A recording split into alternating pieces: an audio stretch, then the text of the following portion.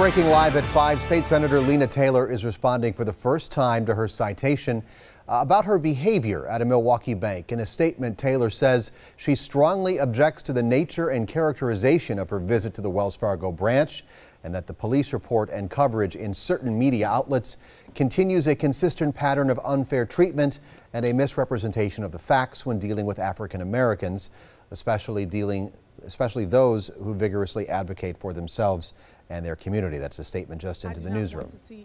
Now, according to police reports just released today, multiple witnesses say Taylor, the Democrat from Milwaukee, used a racial slur against a bank teller. That resulted in her citation for disorderly conduct. Taylor has pleaded not guilty.